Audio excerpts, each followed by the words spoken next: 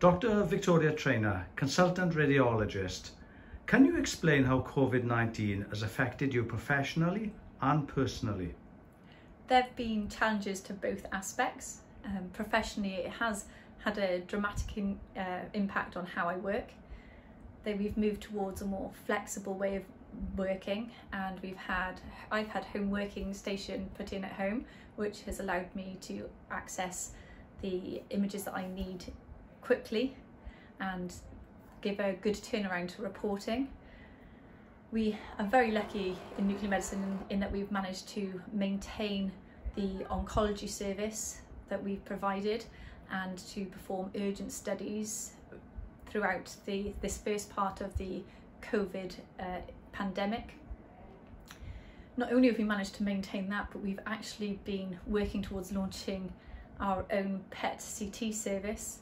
There have been a few challenges and a few extra ones because of uh, the COVID situation, um, but we are very pleased to have got to the point where we are starting to scan with PET CT for the patients of South West Wales.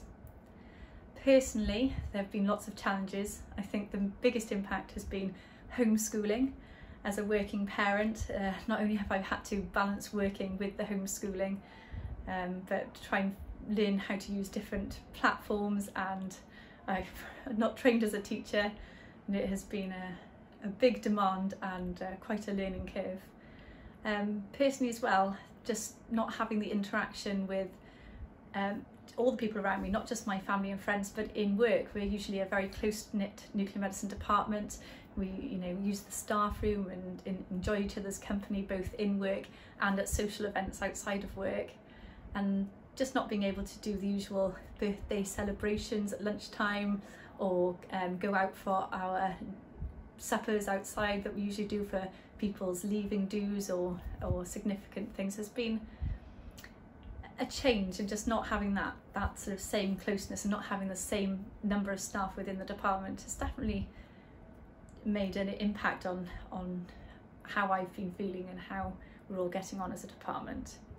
Um, but we're, we're getting through it and we're still smiling